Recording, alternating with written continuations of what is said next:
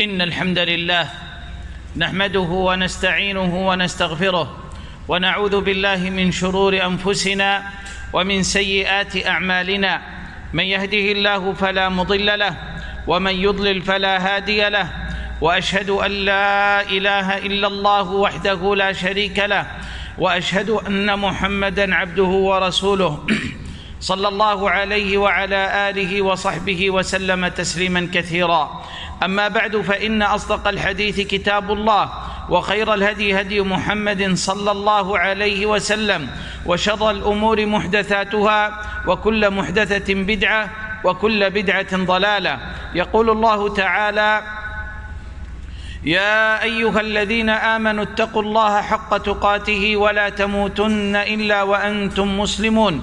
يا أيها الناس اتقوا ربكم الذي خلقكم من نفس واحدة وخلق منها زوجها وبث منهما رجالا كثيرا ونساء واتقوا الله الذي تساءلون به والأرحام إن الله كان عليكم رقيبا يا أيها الذين آمنوا اتقوا الله وقولوا قولا سديدا يصلح لكم أعمالكم ويغفر لكم ذنوبكم ومن يطع الله ورسوله فقد فاز فوزا عظيما. أما بعد أيها الناس فقد أخرج مسلم في صحيحه وأصله في الصحيحين من حديث عبد الله بن مسعود رضي الله عنه أن النبي صلى الله عليه وسلم قال أفضل الأعمال الصلاة لوقتها وبر الوالدين.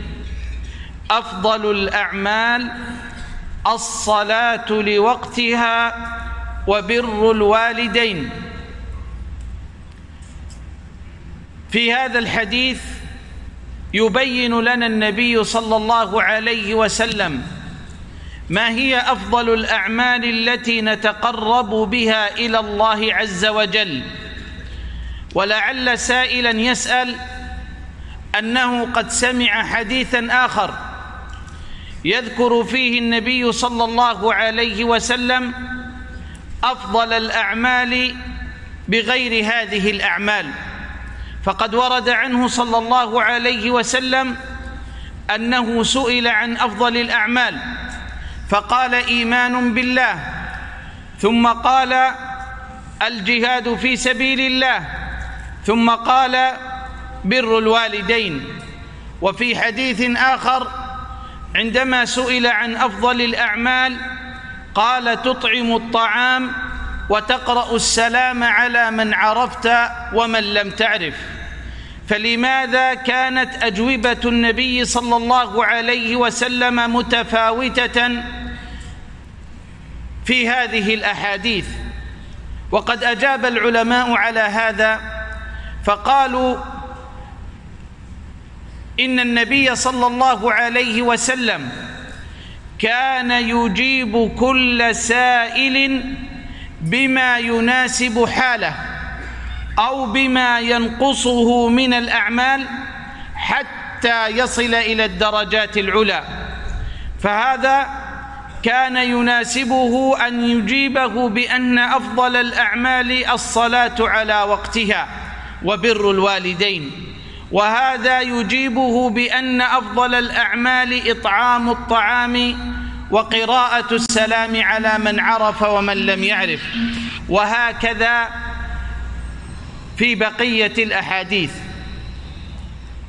وقال بعض أهل العلم معناه إن من أفضل الأعمال فتكون الأعمال كلها فاضلة وتتفاوت بحسب الأشخاص.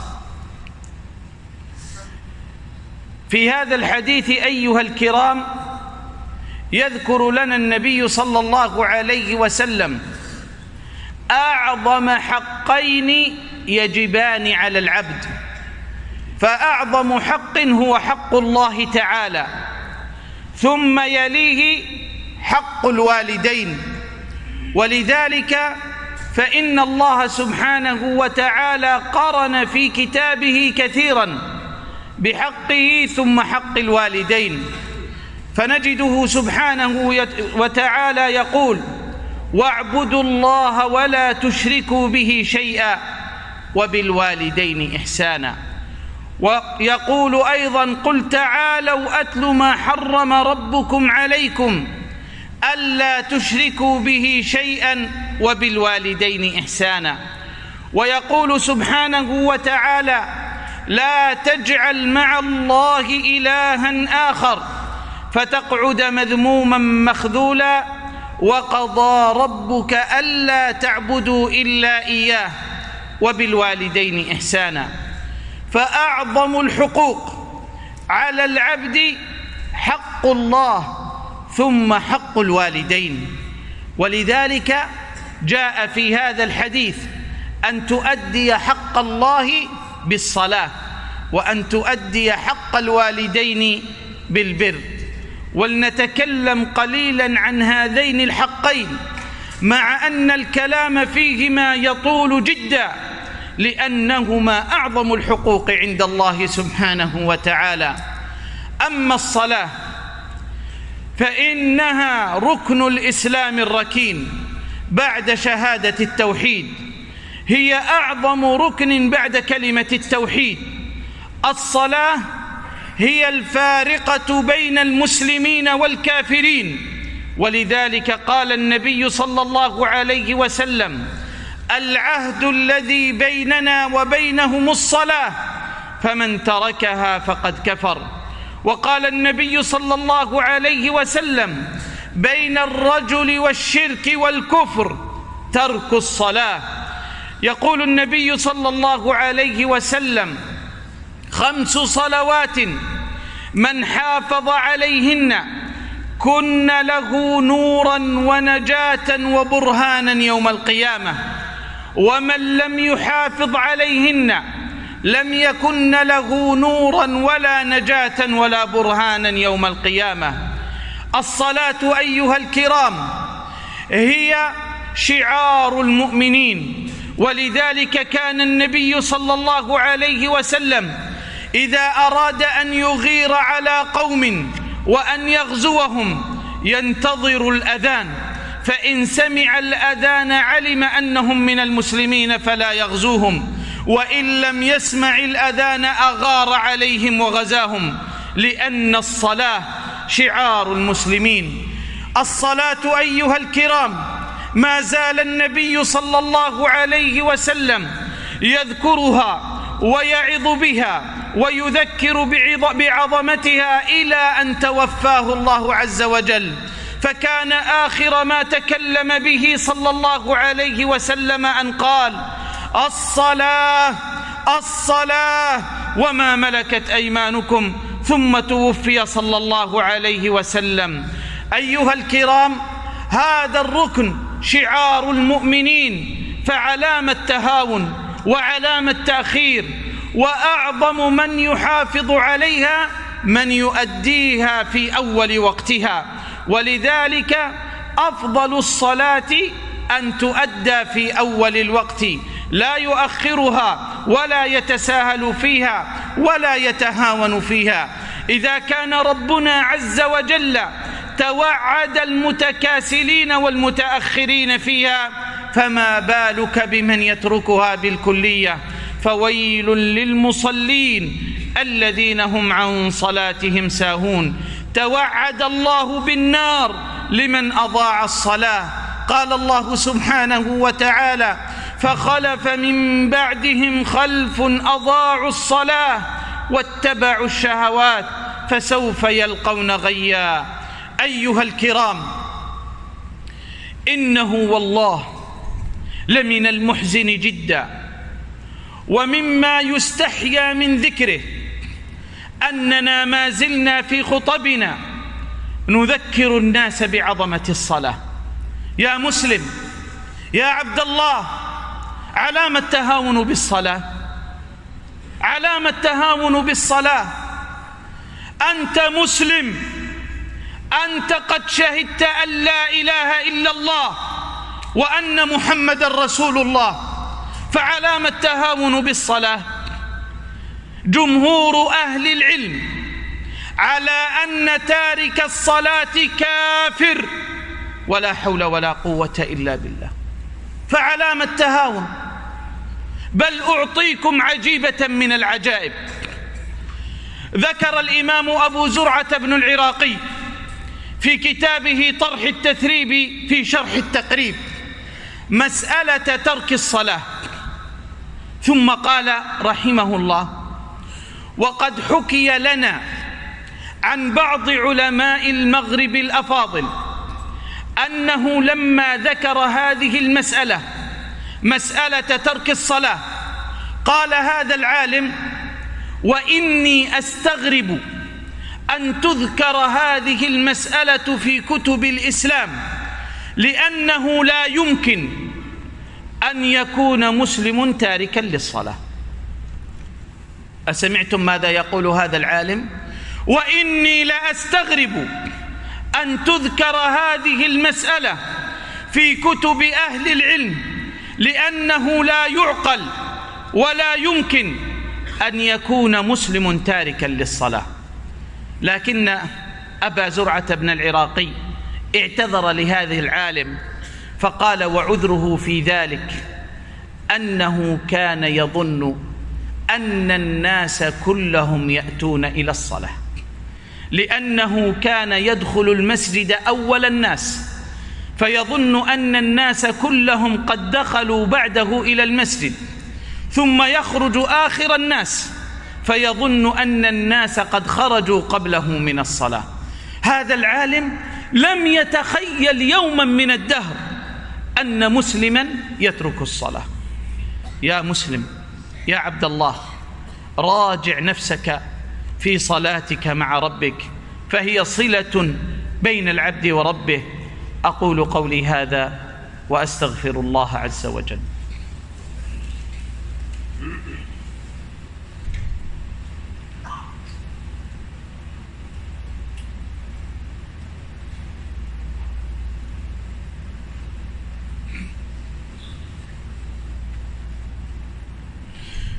الحمد لله رب العالمين وصلى الله على نبينا محمد وعلى آله وصحبه وسلم تسليما كثيرا إلى يوم الدين.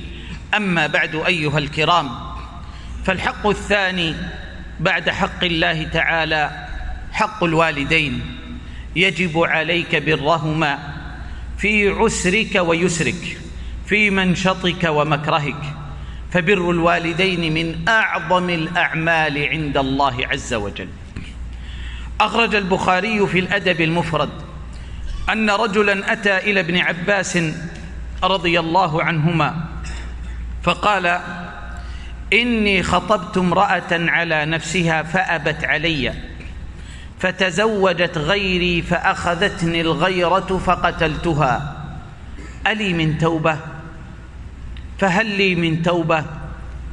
فقال له عبد الله بن عباس رضي الله عنهما أحي والداك أحي والداك وفي رواية احيه والدتك؟ قال لا. قال تب إلى الله. فقال له الراوي يا ابن عباس لم سألته عن حياة والديه؟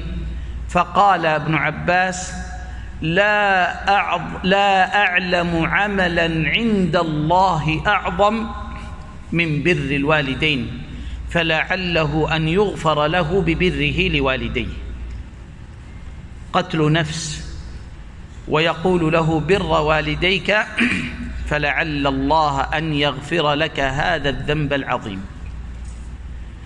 لنتحسس في أنفسنا أيها الكرام ما هو حالنا مع آبائنا وأمهاتنا؟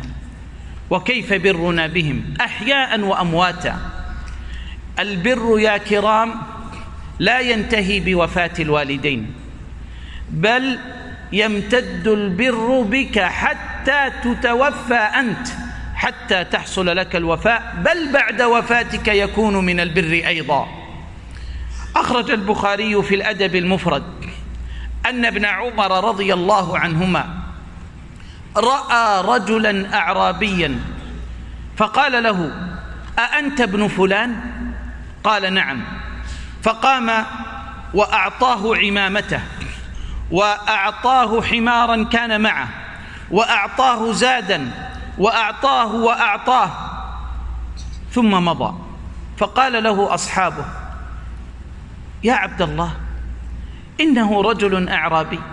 كان يكفيك درهمان أن تعطيه درهمين. فقال عبد الله إن أبا هذا كان صفيا لأبي. وإني سمعت النبي صلى الله عليه وسلم يقول إن أبر البر أن يصل الرجل أهل ود أبيه. إن أبر البر أن يصل الرجل أهل ود أبيه وإن أباه كان صفيا لأبيه. هذا هو البر يا كرام. البر لا يكون فقط بسمع الأوامر واجتناب ما ينهى عنك والداك بل البر أن تبادر لما يفرحهما وأن تسارع فيما يفرح الوالدين وأن تجتنب كل ما يغضب الوالدين وأن تجتنب كل ما يدخل شيئا ينكد وينغص على الوالدين. هذا هو البر يا كرام. يا كرام كلنا لنا آباء وأمهات. إما على قيد الحياة فيجب عليك أن تبرهما أشد البر. ومنا من توفى الله والديه فيبرهم بالدعاء لهم.